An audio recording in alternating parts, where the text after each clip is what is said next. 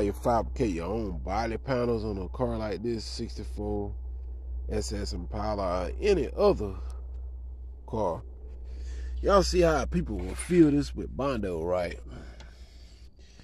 Alright, if you don't want to do a whole lot of Bondo filling on panels like this, take you a piece of metal like this right here. Gotta learn how to do a lot of stuff at home and quit complaining, man. Take this piece of metal like this, fabricate it right in there. Look at that.